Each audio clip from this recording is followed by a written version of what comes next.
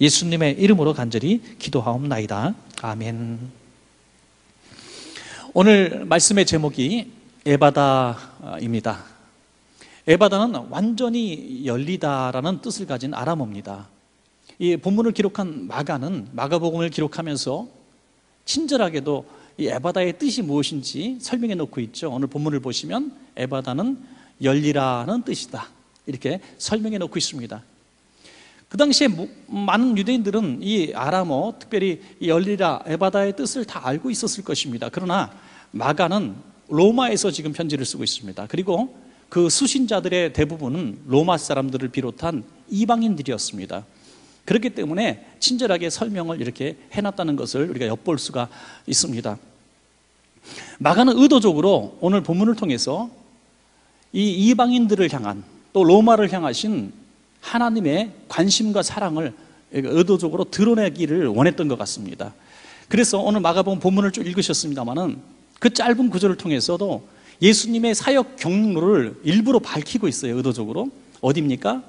오늘 사역 어, 경로는 이방인들의 거주지인 두로와 시돈을 지나서 데가볼리 지방을 지나서 갈릴리로 왔다.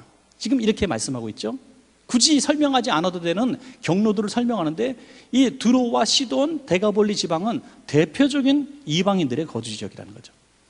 특별히 유대인들 당시 유대인들은 이 이방인들의 거주지를 통과하지 않고 일부러 먼 길을 돌아서 갈 정도로 밟지 않는 그 유대인들이 일반적으로 생각하고 먼저 하나님의 심판이 임하신다면 바로 가장 먼저 임할 곳이 드로와 시돈이다라고 생각할 정도로 멸시하는 지역이었습니다. 그러나 주님께서 의도적으로 그 과정을 그 모든 영들을 통과했다는 것을 밝히고 있습니다. 무엇을 하셨을까요? 성경에 자세히 기록되지 않았다 할지라도 주님이 가시는 곳에는 늘 병자들이 모여들었습니다. 구름같이 모여들었습니다. 그러면 예수님은 거절하지 않고 다 축복기도 해주시고 이 질병을 고쳐주셨기 때문에 이곳에서도 수많은 사역들이 있었을 것이다. 우리는 그렇게 짐작하기에 충분합니다. 그리고 오늘 마가복음에 등장하지 않지만은 이 마태복음의 이 당시의 상황과 병행하는 그 시, 똑같은 시대상의 병행 구절이 있는데요. 그 병행 구절을 보시면은 마태복음 15장 30절 한 절에 나와 있습니다. 큰 무리가 다리 저는 사람과 장애인과 맹인과 말 못하는 사람과 기타 여럿을 데리고 와서 예수의 발 앞에 앉힘에 고쳐 주셨다. 그러므로 그곳에서 수많은 병자들을 고쳐 주셨다는 것을 마태복음에서는 증언하고 있습니다. 그리고 또 오늘 본절 바로 전에 어떤 사건이 있습니까? 스로보닉의 여인의 딸을 고쳐주는 기사가 나와 있죠.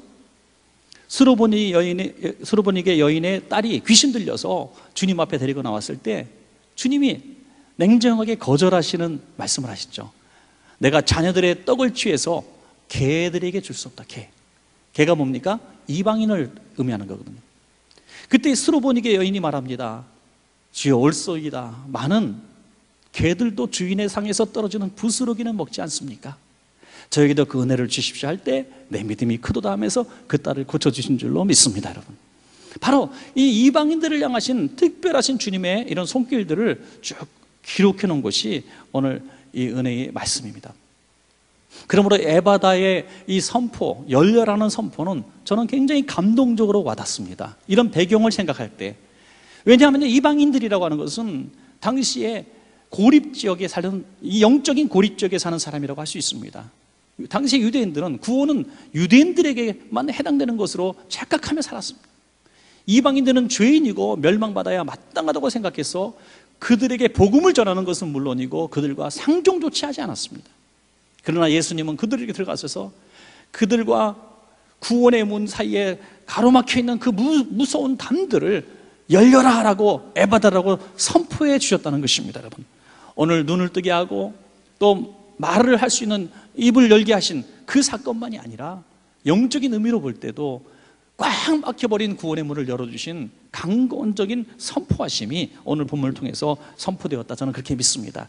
오늘 열려라, 에바다라고 말씀하신 것은 그 말 못하고 귀를 들을 수 없는 그 사람에게 하신 말씀이 아닐 것입니다. 그 사람이 내가 말을 하고 싶지 않았겠습니까? 듣고 싶지 않았겠습니까? 어쩔 수 없는 거예요. 불가항력적으로 내가 말할 수 없고 들을 수 없었습니다. 얼마나 답답하겠어요. 그러므로 주님이 열어라 라고 말씀하신 것은 그 사람에게 주신 음성이 아니라 그를 귀를 막게 하고 보지 못하게 하는 그 악한 권세와 세력에 대해서 열어라 라고 말씀하신 줄로 믿습니다, 여러분. 그러므로 구원의 문과 단절되어 있는 그 어, 이방인들에게 주님은 찾아가 주셔서 에바다의 은혜를 강하게 강권적으로 베풀어 주신 것입니다. 사랑하는 여러분, 오늘 우리들의 삶 가운데도 우리 힘으로 어찌할 수 없는 꽉 막힌 것들이 참 많습니다. 주님이 찾아와 주셔서 성령으로 임재하여 주셔서 에바다의 은혜를 주시지 않고서는 도무지 열릴 수 없는 꽉 막힌 것들이 있습니다, 여러분. 여러분, 막힌 게 정상입니까? 아니에요. 막힌 건 정상이 아닙니다. 불편한 것이고 너무나 힘든 것입니다. 야, 오늘 차가 막혀서 너무 기분이 좋다. 이런 분들이 어디 있어요, 여러분? 오늘 피가 안 돌아서 꽉 막혀서 혈액이 막혀서 너무너무 건강하다. 이런 분도 없어요. 막힌 건 정상이 아니에요. 뚫려야 됩니다. 열려야 됩니다. 하나님은 인생을 창조하실 때 열린 존재로 창조하여 주신 것을 믿으시기 바랍니다. 그렇죠. 하나님과 인간 사이에 담이 없었습니다. 우리는 언제든지 하나님하고 부르면 하나님은 응답해 주시는 하나님과의 소통의 문이 열려 있었습니다. 사람을 지으셨을 때도 아담과 하와를 지으시고 모든 인류를 지으실 때 하나님은 이 사람들을 하나님 형상으로 동일하게 창조하시고 소통하게 하셨습니다. 그리고 또 우리는 만물과 소통하게 만드셨습니다. 세상과 소통하고 자연과 소통하도록 만드셨습니다. 그러나 이 모든 것들이 지금 다 막혀 있어요. 하나님과의 관계의 문이 꽉 막혔고 가족의 가족 간의 문제도 막혀 있어요. 부부 간에도 막혀 있고 이웃은 아주 원수고 또 만물과 자연과 원수가 된 이 시대가 왜 그랬습니까? 우리의 죄 때문에 죄 때문에 막혔습니다. 이 죄를 가지고 악한 사단 마귀는 그 돌덩어리를 갖다 놔서 이 문을 도무지 열지 못하도록 꽁꽁 우리를 묶어 놓고 있는 것입니다. 그러므로 하나님이 오늘 이 자리에 임재하여 주셔서 성령님께서 오늘 이 자리에 임재하여 주셔서 우리 힘으로 어찌할 수 없는 그것들을 에바다 열려라라고 말씀하신다면 하나님과의 관계도 소통하게 될 것이고 우리 인생의 모든 가족 간의 관계, 성도들과의 관계, 이웃과의 관계도 열리게 되고 우리가 모든 만물과의 관계도 또 우리의 범사가 형통하게 열릴 줄로 믿습니다, 여러분. 오늘 말씀을 통해서 우리가 그러면 꼭 열림을 받아야 될 은혜가 무엇인지 우리 두 가지만 생각해 보고 저와 여러분이 어디 두 가지 면에서는 반드시 열리는 축복을 누리시기를 간절히 축원합니다. 자, 첫 번째로 우리에게 전도의 문이 열려야 합니다, 여러분. 전도의 문. 오늘 본문의 이방인은 주님을 만나지 못하면 도무지 구원받을 수 없는 사람이에요. 그런데 자신은 들을 수 없습니다. 더구나 이방인입니다. 이방인의 거주 지역이 있습니다. 어떻게 그가 주님을 만날 수 있겠습니까? 그를 주님께로 인도한 사람들이 있었기 때문입니다. 마가복음 7장 32절에 사람들이 귀먹고 말 더듬는 자를 데리고 예수께 나와 안수하여 주시기를 간구하거늘 사람들이 그 사람을 데리고 와서 주님 앞에 안수해 달라고 부탁을 합니다. 얼마나 얼마나 아름다운 모습입니까, 여러분? 들을 수 없는 사람, 복음을 들을 수 없고 예수님에 관한 소식을 들을 수 없어서 믿음도 생기지 않는 그 사람을 강권하여 데려다가 강권하여 데려다가 주님 앞에 이렇게 안수받도록 인도하는 이 마을 사람들의 모습. 여러분, 좋은 교회가 어떤 교회입니까? 목회를 하고 있는 저에게 어떤 교회가 좋은 교회입니까? 라고 물어볼 때 저는 오늘 본문을 통해서 해답을 알 수가 있습니다. 좋은 교회가 어떤 교회? 좋은 사람이 많이 모인 교회? 그 아주 편안한 교회? 좋은 일 많이 하는 교회? 여러분, 그것이 좋은 교회 본질일까요?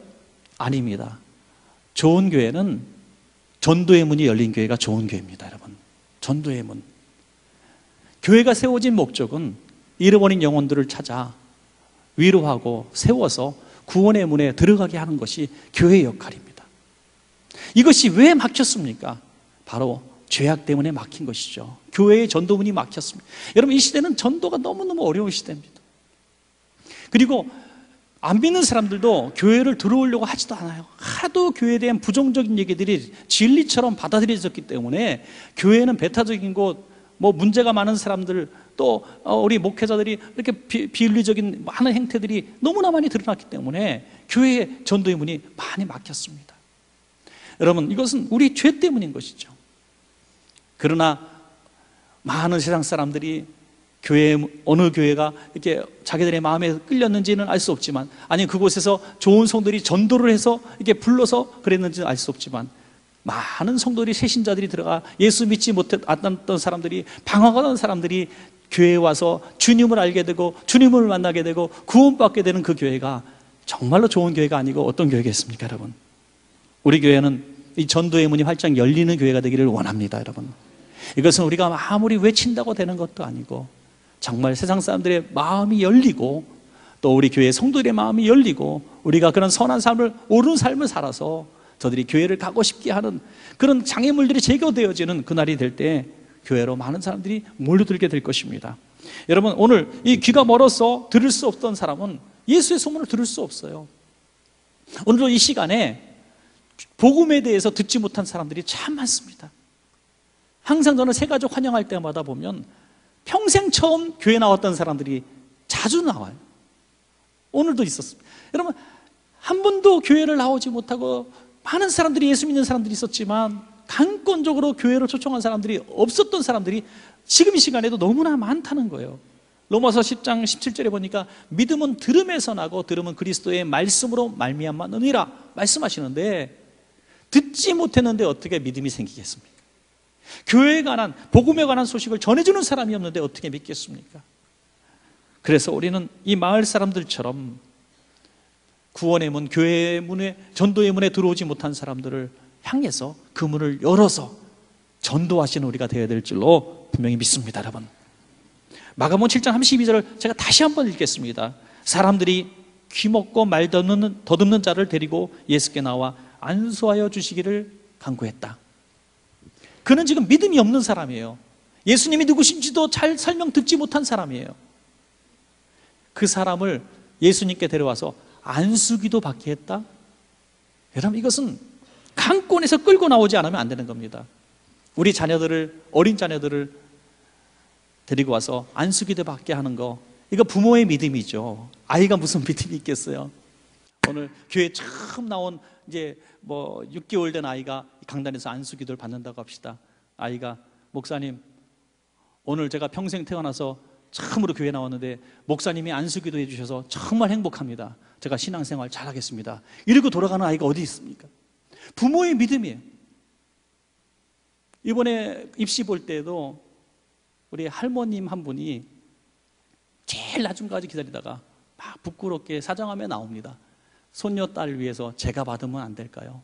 입시 보는 손녀딸 걔는 이 자리에 없지만 제가 받으면 안 될까요? 당연히 되죠. 당연히 되죠.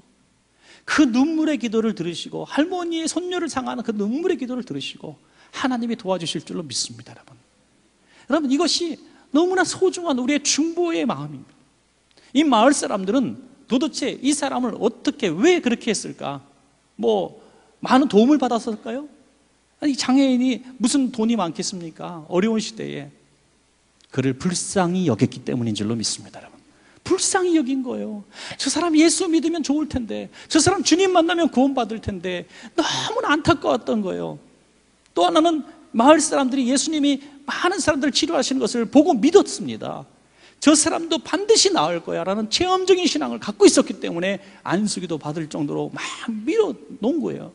여러분 우리가 주님을 먼저 만나는 감격이 있고 그 영혼을 사랑하는 마음이 있으면 전도의 문은 활짝 열릴 줄로 믿습니다. 전도는 뭡니까? 원촌 교회로 인도하는 게 전도가 아닙니다. 원촌 교회 목사 만나게 하는 게 전도가 아닙니다. 주님 만나게 하는 것이 전도인 줄로 믿으시기 바랍니다. 주님 만나야 되는 거예요. 이것은 내가 문을 열어주지 않으면 도무지 불가능한 거예요. 문을 열어줘요. 강권적으로 가서 그 스스로 열 수 없는 그 문을 열어줘야 됩니다. 오늘 예수님께서도 듣지 못하고 보지 못하는 그 사람을 향해서 야 네가 네 마음을 좀 열어라 이렇게 말씀하지 않으셨습니다.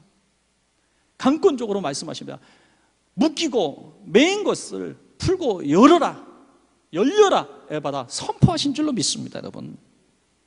왜 그는 선포 아니면 열릴 수 없는 사람이기 때문에 듣지 못하고 보지 못하고 믿음이 없는데 어떻게 열리겠습니까? 오늘 이 사람을 데리고 예수님은 참 특이한 것은 한적한 곳으로 이렇게 데리고 가시는 모습이 오늘 성경에 나오잖아요. 그를 데리고 무리들 사이에서 데리고 나갑니다. 무슨 얘기를 하셨는지 마가는 기록할 수가 없었습니다.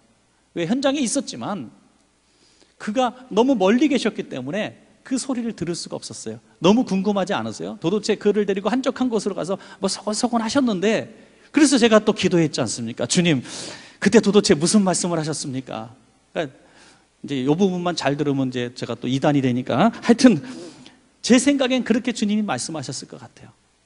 내 입을 똑바로 봐라. 넌 듣지 못하니까 내 입을 봐라. 너는 듣지도 못하고 말도 못하니 얼마나 답답한 인생을 살았니? 너를 데리고 온 사람들이 너가 나를 만나면 하나님의 능력으로 너는 고침받을 줄로 믿기 때문에 나에게 데리고 온 거야.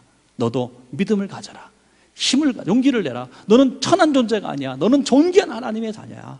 하고 위로하시면서 손을 잡고 걸었으리라. 저는 그렇게 믿습니다, 여러분. 그 접촉의 은혜, 그리고 혀에다가 손을 대시고 선포하시는 거죠. 에바다, 열려라.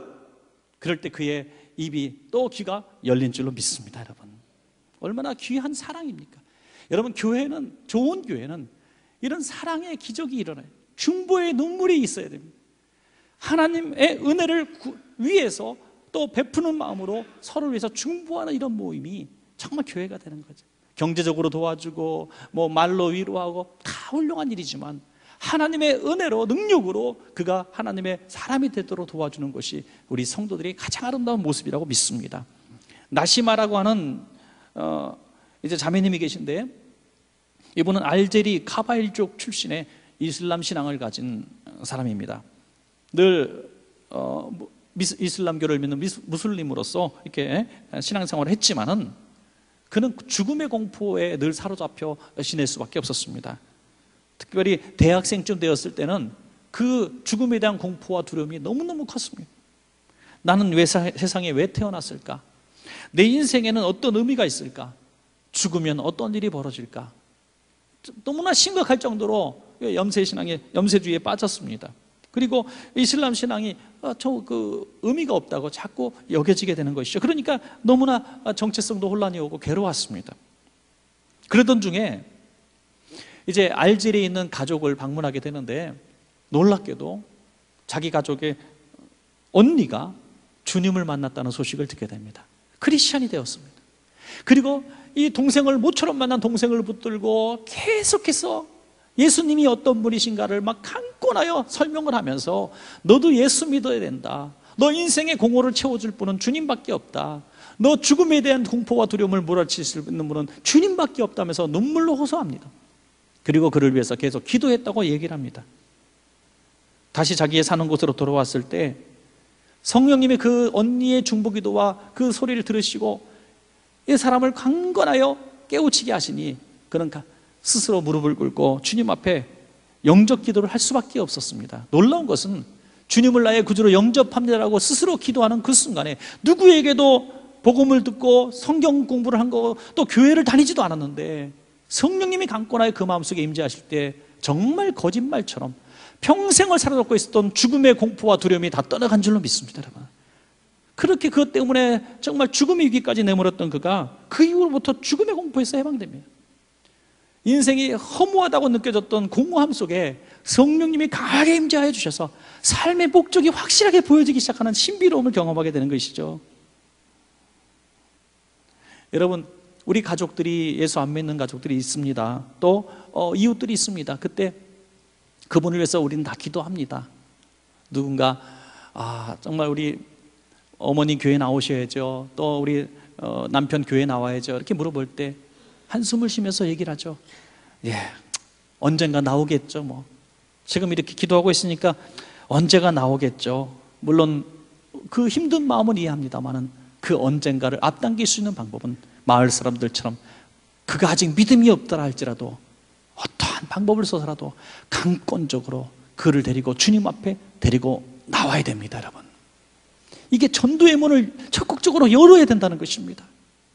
듣지 못하는데 어떻게 복음이 들어갈 수 있고 복음이 들어갈 수 없는데 어떻게 믿을 수가 있겠습니까? 여러분 이 마을 사람들처럼 강권하여 주님 앞에 데려와 안수하여 주시기를 원하는 사랑하는 마음이 우리에게 있다면 그의 영혼을 정말 불쌍히 여기는 마음이 우리에게도 있다면 우리도 이 마을 사람들처럼 전도의 문을 열게 될 줄로 그렇게 믿습니다. 마가복음 7장 36절에 보니까 예수께서 그들에게 경고하사 아무에게도 이르지 말라 하시되 경고하실수록 그들이 더욱 널리 전파하니 이 놀라운 사실에 대해서 침묵을 하라고 말씀하셨지만 안 할 수가 없었던 거예요. 이 놀라운 이야기를 증거하지 않을 수가 없어서 더 많은 사람들에게 증거한 것입니다, 여러분. 그래서 도무지 예수님을 믿을 것 같지 않았던 사람들이 믿게 되거나 도무지 나올 수 없는 질병이 교회에서 기도하다가 나으면은 이것은 정말 복음의 전도의 문이 활짝 여는데 쓰임 받게 되는 것입니다. 사랑하는 여러분, 우리의 가족들을 향해서 이웃을 향해서 그 스스로 열 수 없는 그 구원의 문을 여러분들이 도와주셔서 에바다의 은혜를 선포하시는 여러분 되시기를 간절히 축원합니다. 마지막 두 번째로 우리와 예수님과의 만남의 문이 열려야 될 줄로 믿습니다. 예수님을 만나야 돼요. 너무나 소중한 얘기입니다. 여러분 사도 바울은 누구보다 성경을 많이 아는 사람, 누구보다 신념이 강한 사람이고 누구보다 지위가 있는 사람입니다. 그런데 그가 행한 일이라고 하는 것은 자기의 신념대로 믿는 거예요. 여러분 지금도 교회는 오래 나왔지만 자기의 지성과 상식과 경험을 의지하여 자기 나름대로 신앙생활하는 예. 마테마가 누가 요한복음이 있지만 그분은 믿는 것은 내가 복음을 믿더라고 내가 복음 예. 안 웃으시니까 뻘쭉한데 하여튼 웃어야 되는데. 아, 요즘에 자꾸 아재 개그만 해갖고 제가 마테마가 누가 복음을 믿어야 되는데 자꾸 자기 만든 자기 복음이 있는 거예요. 야 예수는 이렇게 믿는 거야. 신앙생활은 이렇게 하면 되는 거야. 모든 사람을 가르치려고 들어요. 잘못된 복음 잘못된 신앙으로 가는 거예요. 다 그렇다는 게 아니에요. 우리 성도님들 가운데서도 정말 굉장한 지성인들이 여러분 모르는 분들이 너무너무 많아요 너무 훌륭하신 분들이 많아요. 제가 만나보면 얘기 한마디 몇 마디 하다 보면 너무나 훌륭하신 분들이 참 많습니다. 그런데 주님의 복음 앞에 겸손하게 꿇어 엎드려서 말씀이 가라 하면 가고 말씀이 서라 하면 서는 그 순종한 어린아이 같은 모습 볼 때 제가 다 감격하고 너무나 고맙습니다. 사랑하는 여러분 예수님을 만난 사람의 변화인 줄로 저는 믿습니다 여러분. 사도 바울은 그렇게 잘난 체하고 할 때 예수 믿는 사람들을 잡아 죽이는 실수만 저질렀고 이게 trouble maker였는데 그가 다메섹으로 가는 도상에서 부활하신 주님을 만나서 나는 내가 박해하는 예수다라고 말씀하실 때 그의 인생은 180도 변화된 줄로 믿습니다. 완전히 자기는 사스라지고 깨어졌어요. 자기가 믿고 의지했던 모든 신념과 지성들, 지식들, 권력들이 다 배설물처럼 여겨졌습니다. 그것은 하나님의 강권하시는 만남의 축복이 아니고서는 이루어질 수 없는 축복인 것입니다. 마가복음 7장 34절 보니까 이 사람을 향한 주님의 탄식을 봅니다. 하늘을 우러러 탄식하시며 그에게 이르시되 에바다 하시니 이는 열리라는 뜻이라. 주님이 탄식하셨다고 했어요. 왜 탄식하셨을까요? 그의 입과 그를 그의 귀를 막고 있는 그 존재가 너무나 강한 악한 마귀의 존재였고 이 사람은 거기에 눌린 피해자인 것을 이런 영적인 노예인 것을 보았기 때문에 눈물이 난 겁니다. 만약에 그가 스스로 강팍하고 완악해서 복음을 거절했다면 주님은 탄식하지 않으셨을 거예요. 그냥 믿어라 라고 말씀하셨을 거예요. 그러나 그 힘으로 어찌할 수 없는 강한 족쇄처럼 묶여있는 노예처럼 살아가고 있는 그 영혼이 불쌍해서 탄식하시며 기도하신 것입니다. 사단아, 그 사람에게서 떠나가라 하는 것이죠. 그의 묶고 있는 묶음을 놓고 그의 입을 막고 있는 막음을 놓고 이 시간에 이 사람에게서 떠나가라 선포하시는 것입니다. 얼마나 감사하신 선포입니까, 여러분? 그 사단을 향해서 명령하는 여러분 우리가 우리 힘으로 풀 수 없는 수많은 것들이 있습니다. 나는 왜 이렇게 참 되는 일이 없어요? 저는 왜 이렇게 답답한지 알 수 없어요? 저는 하는 일마다 사고 뭉치고요. 이렇게 실수투성입니다. 되는 일도 없고요. 능력도 없습니다. 괴로워하는 분들이 있습니까? 내 힘으로 안 되는 일은 하나님 앞에 맡겨야 되지 않겠습니까? 믿습니까, 여러분? 내 힘으로 안 되니까 하나님 앞에 맡겨야죠. 왜 팔자 타령하고 왜 관상 사주 팔자 보러 전 보러 가십니까? 왜 부적을 머리 밑에 놓고 주무십니까, 여러분? 언젠가 기습으로 제가 어, 검사님들 데리고 여러분 가택 수사해가지고 비계 속에 있는 부족을 좀 찾아내기를 바라는데요. 하여튼 우리 교회 가운데는 없고 저쪽에 이웃 동네 교회에 한 분이 계시더라고요. 하여튼 뭐 비계 속에 부족을 놓고 자면 잠이 잘 온다든지 차라리 성경책을 비고 주무십시오, 사람. 사랑하는 여러분, 우리 힘으로 안 되는 건 주님의 선포가 있으면 해결될 수 있습니다. 주님의 능력을 구하십시오. 나도 부활하신 주님을 만나고 싶습니다. 오늘 35절 보시면요. 그의 귀가 열리고 혀가 맺힌 것이 곧 풀려 말이 분명하여 졌더라. 여기 맺힌 것이라고 하는 것은 어떤 어쩔 수 없는 수동적인 의미를 갖고 있어요. 누군가 꼭 묶어놨다는 얘기입니다. 그 묶은 존재가 있다는 거예요. 누굽니까? 악한 마귀라고 믿습니다, 여러분. 악한 마귀가 그를 묶어놓은 거예요. 여러분, 거라사의 광인이 나오죠. 거라사의 광인, 귀신에 사로잡힌 이 사람에게 주님께서 야, 너 나야지. 기도해. 믿음 있으면 너 병 고칠 수 있어. 귀신 떠나갈 수 있어. 설득하셨습니까? 아니에요. 그도 낫고 싶어요. 귀신을 쫓아내고 싶어요. 가족이 부모로 가고 싶어요. 그럼 내 안에 역사는 귀신들이 나를 놓아주지 않는 겁니다. 나를 죽음으로 몰아가는 겁니다. 폭력을 행사하게 만드는 겁니다. 여러분, 악한 영들이 나는 원치 않는 도박 중독에 빠지게 만들고 술 중독에 빠지게 만들고 폭력 중독에 빠지게 만들고 마약 중독에 빠지게 만들고 우리가 원치 않는 악한 일들 하게 할 때 내 힘으로 안 되는 겁니다. 그럴 때 어떻게 할까요? 주님이 우리에게 찾아오셔서 악한 마귀야 그 사람에게서 묶음을 놓고 떠나가라 명령하시면 우리는 해방될 줄로 믿습니다. 우리 주님을 그래서 만나야 되는 거예요. 이것은 오랜 성경만의 지식으로 되는 것도 아니고 교회 오래 나와서 여기 자리를 지켰다고 되는 것도 아니고 부활하신 주님을 만나는 역사가 있어야만 되는 일인 것입니다, 여러분. 오늘도 수많은 사람들이 막혔고 묶여 있는데 저와 여러분도 그 묶인 것들이 있다면 주님을 만나십시오. 오늘 탄식하심으로 기도할 때 열린 것처럼 로마서 8장 26절에 보니까 같은 말씀이 성령이 말할 수 없는 탄식하심으로 우리를 위하여 친히 간구하시느니라. 성령님도 저와 여러분을 위해서 탄식하며 기도하신다고 말씀하지 않으셨습니까? 오늘 이 듣지 못하고 보지 못하는 사람들이 사람이 주님 말하지 못하는 사람이 주님의 에바다의 선포를 듣고 그 모든 것들이 열렸다면 저와 여러분도 열리게 될 줄로 믿습니다, 여러분. 한 가지 예만 드리고 말씀을 맺겠습니다. 어, 니시리 시디키, 니시리 시디키라는 사람이 있습니다. 이 사람은 영국 런던에 어, 무슬림 가정 역시 전자와 마찬가지로 무슬림 가정에 태어난 어, 사람입니다. 이슬람교를 믿는 사람이죠. 34살이 되었을 때 그는 굉장히 성실하게 살았고 또 성공한 비즈니스맨으로 있었습니다. 아주 그 나이에 걸맞지 않게 수백만 달러를 소유하고 있었습니다. 그러나 갑자기 생긴 질병이 생겼고 그는 어떤 돈도 명예도 이 죽음 앞에서는 속수무책이었습니다. 그래서 잘한다는 토론토까지 가서 종합병원에 입원하게 되었습니다. 그런데 그 병원에서도 이 환자는 손을 쓸 수 없을 지경이 됐습니다. 그 토론토 종합병원에서 그 많은 환자 가운데 가장 심각한 환자 중에 한 사람이 되었고 며칠 내에 죽을 수밖에 없는 지경까지 내몰게 되었습니다. 그는 대상포진이 너무나 심했고 온몸이 수두가 나서 여기저기 물집이 생기고 터지고 인간의 모습이 아니었어요. 그를 본 사람이 너무나 놀라가지고 저 길 건너편으로 달아날 정도로 흉측한 모습을 갖고 있었고요. 그는 이렇게 고백하기를 누군가 휘발유를 내 몸에 뿌리고 불을 붙인 것처럼 나는 내 몸이 타들어가는 고통이 있었다래요. 여러분 이 대상포진 경험하신 분들은 굉장히 아프다 그래요. 어, 이런 고통을 경험하지 못한 고통이었다고 얘기하는데 이 사람은 이걸로 죽을 정도가 됐으니 얼마나 심각하겠습니까? 이제 혼수 상태 들어가서 실신에 들어갔을 때 이제 격리 격리병동에 들어갔는데 의사들이 그 아내에게 하는 얘기를 그가 엿듣게 됩니다. 그가 들을 수 없다고 생각해서 의식을 없다고 생각해서 그냥 자유롭게 얘기했는데 이 사람은 들었습니다. 그 아내에게 말하기를 이 사람은 수시간 내에 죽을 겁니다. 마음의 준비를 하십시오. 몇 시간 남지 않은 것 같습니다. 만약에 기적이 생겨서 이 사람이 살아난다 할지라도 듣지 못하고 보지 못하고 말하지 못하고 거동하지 못하는 식물인간이 될 겁니다. 여러분 이것보다 끔찍한 얘기가 있어요. 아내는 머리맡에서 막 슬퍼하며 울고 있습니다. 자기는 입을 열어 말할 수가 없습니다. 몸도 손가락 하나 까딱할 수 없는 지경이 되었습니다.